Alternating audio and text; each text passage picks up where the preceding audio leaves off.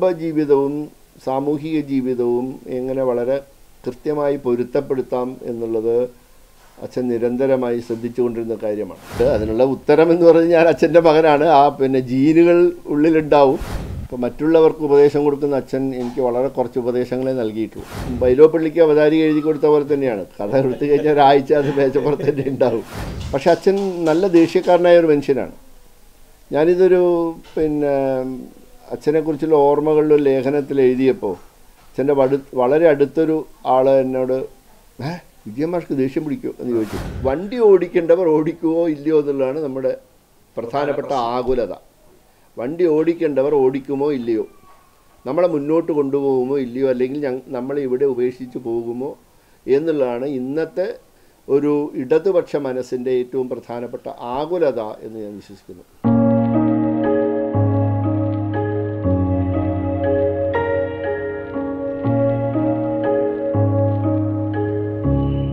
അവസാനത്തിൽ ശരിക്കും താൻ ഏറ്റവും കൂടുതൽ ആത്മീയമായും വളരെ ഹൃദയപരമായിട്ടും വളരെയധികം അടുത്തിരുന്ന ആ പ്രസ്ഥാനവുമായിട്ട് അകലേണ്ടി വന്നപ്പോൾ അതല്ലെങ്കിൽ അങ്ങനെ ഒരു അകൽച്ച ഉണ്ടായപ്പോൾ ഇത്തരം കാര്യങ്ങൾ എപ്പോഴെങ്കിലും കുടുംബാംഗങ്ങളുമായിട്ടോ ഇപ്പം പ്രത്യേകിച്ചും മാഷുമായിട്ടൊക്കെ എന്തെങ്കിലും ഈ തരത്തിലുള്ള എന്തെങ്കിലും സംസാരങ്ങൾ വീട്ടിൽ നടക്കാറുണ്ടോ?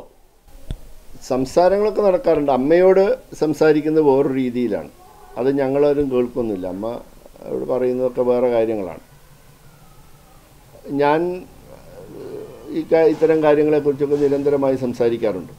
ഇത്തരം കാര്യങ്ങളെക്കുറിച്ച് മാത്രമല്ല ചില സന്ദർഭങ്ങളിൽ അച്ഛൻ ജീവിതത്തിൽ ഇടപെട്ട ഒരു സന്ദർഭം മദ്രാസ് ക്രിസ്ത്യൻ കോളേജിൽ എത്തി ഒന്ന് ഒരു ഒന്നൊന്നര കൊല്ലത്തിനുള്ളിൽ അവിടെ ഒരു അധ്യാപക സമരമുണ്ടായി. അതൊരു കോളേജ് വിഷയമായിട്ട് തുടങ്ങിയതെങ്കിലും സംസ്ഥാന വ്യാപകമായ സമരമായി അധ്യാപകരുടെ സംസ്ഥാന വ്യാപകമായ സമരമായി തീർന്നു.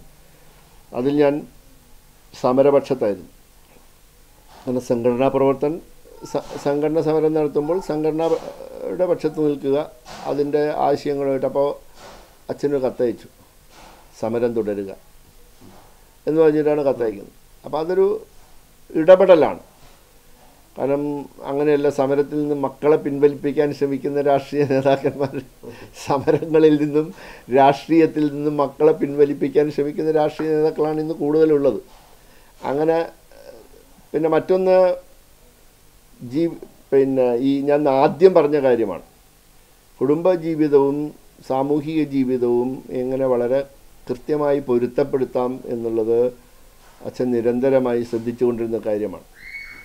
ഭ്രാന്തുകൾ കാണിക്കാതെ എഴുത്തുകാരനും ചിന്തകനും നിലനിൽക്കാൻ കഴിയില്ല എന്നുള്ളൊരു സാധാരണ ധാരണയിൽ നിന്നും വ്യത്യസ്തമാണ് അച്ഛന്റെ ജീവിതം. അത് എന്നെ സംബന്ധിച്ചിടത്തോളം വലിയ പാഠമാണ്. അതുകൊണ്ട് എനിക്ക് എഴുതാൻ വേറൊരു സ്ഥലത്ത് പോയിരുന്ന് മുറിയെടുത്തിരുന്ന് എഴുതൊന്നും വേണ്ട. ഇവിടെ ഇരുന്നിട്ട് തന്നെ എനിക്ക് എഴുതാൻ പറ്റും. അതൊരു വലിയ നിദർശനമാണ്. ഒരു ഒരു ഉദാ ഒരു ഒരു മാതൃകയാണ് എന്നെ സംബന്ധിച്ചിടത്തോളം. മറ്റ് കാര്യങ്ങളെന്ന് പറയുന്നത് പല കാര്യങ്ങളിലും അച്ഛന്റെ രീതിയല്ല. ഇപ്പോൾ പിന്നെ ഭക്ഷണത്തിന്റെ കാര്യത്തിൽ ഞാൻ വെജിറ്റേറിയനല്ല. മറ്റ് പല കാര്യങ്ങളിലും പക്ഷേ അതിനുള്ള ഒരു സ്വാതന്ത്ര്യം അച്ഛൻ തന്നു എന്നല്ല അത് അവിടെ ഉണ്ടായിരുന്നു. സ്വാതന്ത്ര്യം തന്നു സ്ത്രീകൾക്ക് പുരുഷൻ സ്വാതന്ത്ര്യം കൊടുത്തു എന്നുള്ള അർത്ഥത്തിലല്ല. ആ സ്വാതന്ത്ര്യം അവിടെ ഉണ്ടായിരുന്നു. നിങ്ങൾക്ക് ഉപയോഗിക്കാം ദുരുപയോഗം ചെയ്യാം എന്ത് ചെയ്യാം എന്നുള്ള അർത്ഥത്തിൽ ആ സ്വാതന്ത്ര്യം വീട്ടിനുള്ളിൽ എവിടെയൊക്കെ ഉണ്ടായിരുന്നു? അത് വളരെ കുറച്ച് ദുരുപയോഗം ചെയ്തിട്ടുള്ളൂ എന്നാണ് എന്റെ വിശ്വാസം. അച്ഛന്റെ പലതും ഒരു സന്ദേശമോ പാഠമോ ആയിട്ട് മാഷ് കൊണ്ടു നടക്കുന്നു. അതുപോലെ അച്ഛൻ തന്ന ഒരു സ്വാതന്ത്ര്യം ഇപ്പോഴും അത് എവിടെയൊക്കെ ഉണ്ട് എന്ന് പറയുന്നു. വിജയം മാഷ് സംസാരിക്കുന്നത് പോലെ തോന്നും. മാഷ് സംസാരിക്കുമ്പോഴും. അനിൽകുമാർ മാഷ് സംസാരിക്കുമ്പോൾ പലപ്പോഴും വിജയം മാഷ് സംസാരിക്കുന്ന പോലെ ആളെ കണ്ടില്ലെങ്കിൽ അങ്ങനെ തോന്നുന്നുണ്ട്. അത് തിരിച്ചറിഞ്ഞിട്ടുണ്ടോ എപ്പോഴെങ്കിലും? തിരിച്ചറി ചില ആൾക്കാരൊക്കെ പറയുന്നത് ഞാനിപ്പോൾ അത്യാവശ്യം ചില പ്രസംഗങ്ങളൊക്കെ നടത്തുമ്പോൾ അങ്ങനെ ആൾക്കാർ പറഞ്ഞിട്ടുണ്ട്. അതിനുള്ള ഉത്തരം എന്ന് പറഞ്ഞ് ഞാൻ അച്ഛന്റെ മകനാണ്. ആ പിന്നെ ജീനുകൾ ഉള്ളിലുണ്ടാവും. കാരണം പാരമ്പര്യം എന്നുള്ളത് വലിയൊരു കാര്യം. പാരമ്പര്യം എന്ന് ഞാൻ പറയുന്നത് ഇന്ത്യൻ പാരമ്പര്യത്തെക്കുറിച്ചോ അങ്ങനത്തെയുള്ള ഒരു ഒരു അമൂർത്ത സങ്കല്പത്തെക്കുറിച്ചല്ല. ശാസ്ത്രീയമായി പാരമ്പര്യം എന്നുണ്ട്. ജീനോ. ശാസ്ത്രീയമായി പാരമ്പര്യം എന്നുണ്ടല്ലോ അപ്പോൾ അതുകൊണ്ട് നമ്മുടെ പിന്നെ കൈയുടെ ചലനങ്ങളോ പിന്നെ ചിരിയോ എല്ലാം അതുപോലെ ആയി പോകുന്നത്. ഇപ്പം മറ്റുള്ളവർക്ക് ഉപദേശം കൊടുക്കുന്ന അച്ഛൻ എനിക്ക് വളരെ കുറച്ച് ഉപദേശങ്ങളെ നൽകിയിട്ടുള്ളൂ. അത് എന്തുകൊണ്ടാണ് എന്ന് ചോദിച്ചാൽ ഒരു പക്ഷേ ഈ പറയുന്ന പിതൃപുത്ര ബന്ധത്തെക്കുറിച്ചിട്ടുള്ള ഫ്രോയിഡിയൻ സങ്കല്പങ്ങളും മറ്റും വളരെ അഗാധമായി അറിഞ്ഞു വെച്ചതുകൊണ്ടാവാം അത്തരത്തിലുള്ള സമീപനം ഉണ്ടായിരുന്നത്. കഥ എഴുതി ഒന്നാമത്തെ കഥ മുതൽ ഞാൻ അച്ഛനെ കാണിക്കുമായിരുന്നു. എന്നിട്ട് വളരെ അപൂർവമായ ചില തിരുത്തലുകൾ ചില ഭാഷാപരമായ തിരുത്തലുകളൊക്കെ അദ്ദേഹം വരുത്തുമായിരുന്നു. പക്ഷെ എനിക്കിപ്പോഴും ഓർമ്മയുണ്ട് ഭാഷാപരമായ തിരുത്തൽ അച്ഛൻ വരുത്തിയാലും ചിലപ്പോൾ ഞാനത് പിന്നെ സ്വീകരിക്കാതിരിക്കുന്നത് ഞാൻ പിന്നീട് പകർത്തി എഴുതുമ്പോൾ അത് ഞാൻ തന്നെ എഴുതിയത് മാറ്റാറുണ്ട്. ഒരു ഘട്ടം വരെ എല്ലാ കഥകളും അച്ഛനെ കാണിച്ചിട്ടേ ഞാൻ പിന്നെ വളരെ വളരെ ചെറിയ ഒരു മൂളലിലോ ഒരു വാക്കിലോ മാത്രമേ അഭിപ്രായം പറയുള്ളൂ എങ്ങനെ ചോദിച്ചു കഴിഞ്ഞാൽ കൊള്ളാം. ഈ വൈലോപ്പള്ളിക്ക് അവതാരി എഴുതി കൊടുത്ത പോലെ തന്നെയാണ്. കഥ എടുത്തു കഴിഞ്ഞാൽ ഒരാഴ്ച അത് മേച്ചപ്പുറത്ത് തന്നെ ഉണ്ടാവും. പിന്നെ അത് വായിക്കാൻ ഞാൻ മൂന്ന് വായിച്ചോ എന്ന് ചോദിച്ചാൽ വായിച്ചില്ല. പിന്നെ അടുത്ത ദിവസം പോയി വായിച്ചില്ല ഞാൻ വായിക്കാമെന്ന് പറയും. അങ്ങനെ ഒരാഴ്ച കഴിഞ്ഞാലാണ് വായിക്കാൻ. അങ്ങനെ പക്ഷേ കഥയത്തിൽ വേറൊരു രീതിയിലും ഇടപെട്ടിട്ടില്ല.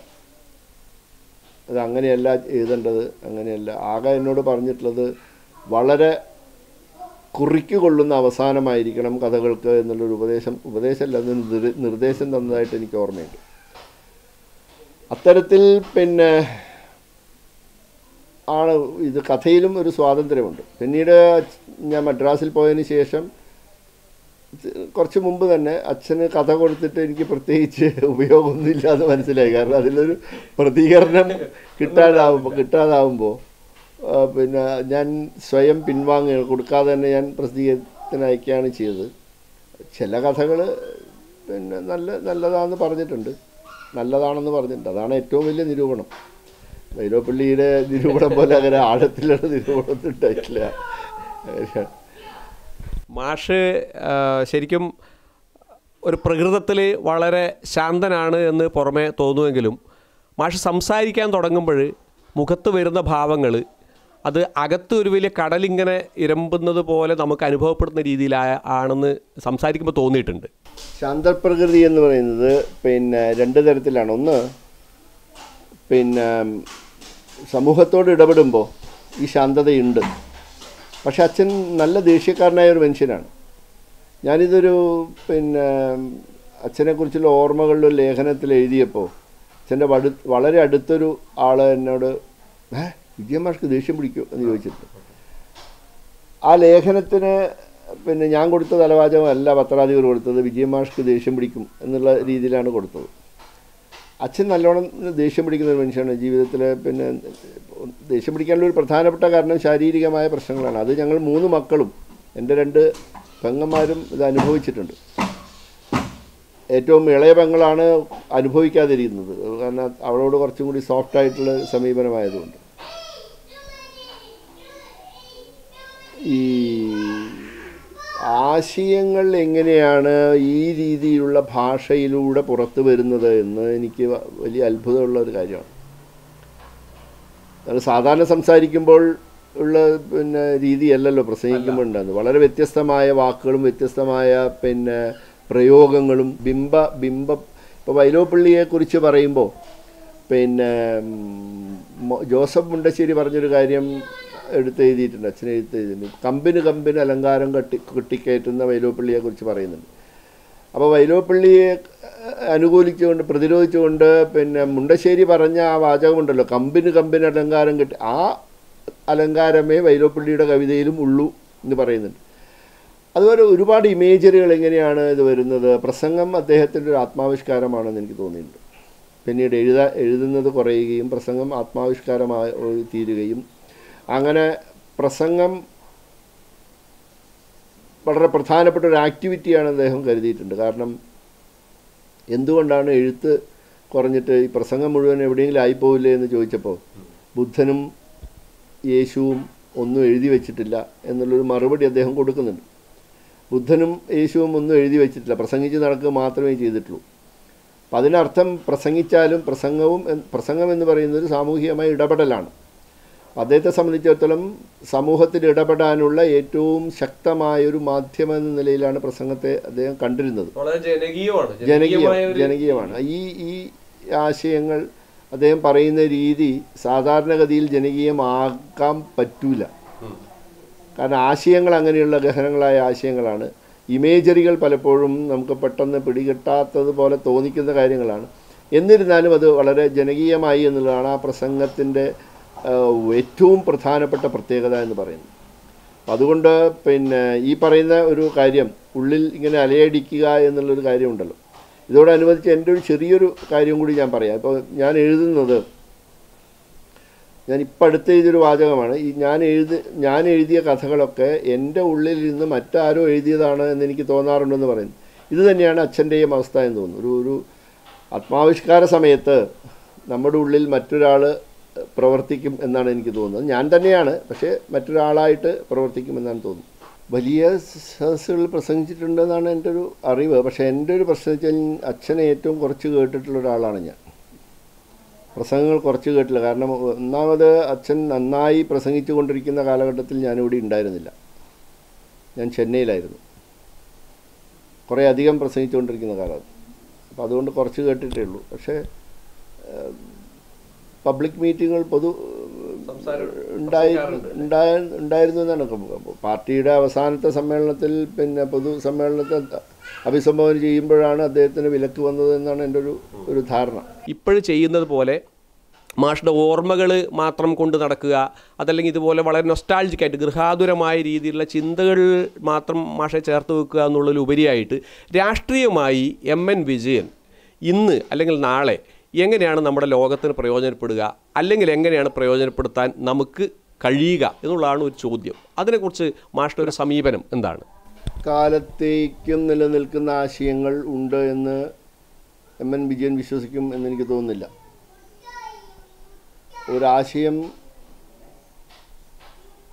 അത് നിലനിൽക്കുന്നത് ആ ആശയം നിലനിൽക്കാനുള്ളൊരു സമൂഹം ഉണ്ടാകുമ്പോഴാണ്. അപ്പോൾ മാർക്സിസം ഉണ്ടാവുന്നത് വർഗവൈരുദ്ധ്യം ഉള്ളൊരു ഒരു ലോകത്താണ്.